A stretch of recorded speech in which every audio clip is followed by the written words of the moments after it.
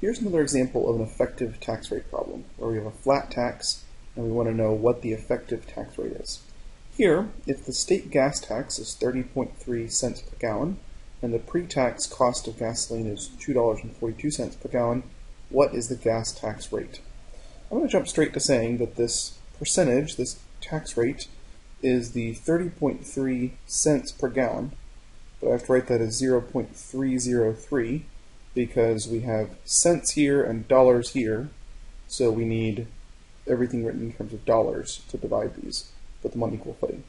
So 30.3 cents is $0.303 divided by $2.42.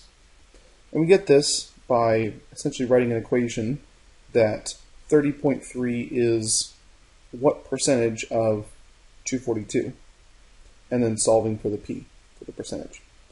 So if we divide these, we get that the percentage is about 0.1252 or 12.52% as a percentage. So the effective tax rate in this example is 12.52%.